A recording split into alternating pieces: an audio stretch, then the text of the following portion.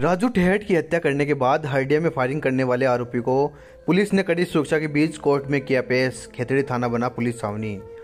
सिक्कर में राजू ठेहट की हत्या करने के बाद हरडिया में फायरिंग की वारदात को अंजाम देने वाले दो आरोपियों को पुलिस ने कड़ी सुरक्षा के बीच कोर्ट में पेश किया।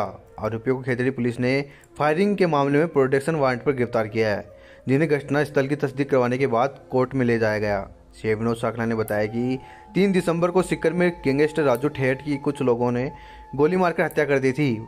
हत्या की वारदात के बाद सिक्कर और झुन्नू की पुलिस ने आरोपी को पकड़ने के लिए दोनों जिलों में हथियारबंद जवानों की नाकाबंदी करवाई। इसी दौरान खेतरी पुलिस को सूचना मिली कि वारदात के आरोपी खेतरी थाना क्षेत्र में आए हुए हैं, जिस पर पुलिस ने सिक्कर सीमा से सटे खेतरी थाना इलाके में एक श्रेणी की नाकाबंदी कर रखी थी। इसी दौरान क्रेटा गाड़ी में सवार होकर आए युवकों ने बबाई चेक पोस्ट के बाद नाकाबंदी तोड़कर पुलिस को देख भागने का प्रयास किया। उसी मामले में फायरिंग की वारदात को अंजाम दिया था, जिस पर दोनों आरोपियों को आज कोर्ट में पेश किया गया। सीआई ने बताया कि आरोपी जिला चरखी दादरी निवासी जतीन उर्फ़ जौनी सतीश उर्फ़ पहलवान को प्रोटेक्शन वारंट पर लाया गया है। राजू ठेर था, उसकी हत्या कर दी थी। कुछ आपराधिक किस्म के लड़कों के द्वारा, जिसमें सीकर पुलिस और झुंझुनू पुलिस उनका पीछा कर रही थी, नाकाबंदी जगह जगह लगी हुई थी।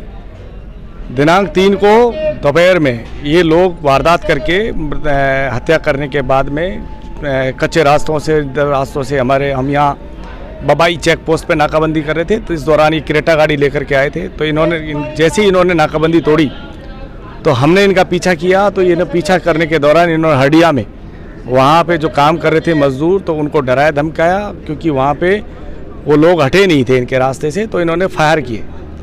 कई फायर किए तो फायर करने के दौरान ये वहाँ पे हम इनका पीछा करते रहे, लेकिन इनकी गाड़ी कच्चे रास्तों से ले जा कर के ओझल हो गए थे। अब इनको इनको प्रोडक्शन वारंट से हमने कल दो लोगों को गिरफ़्तार किया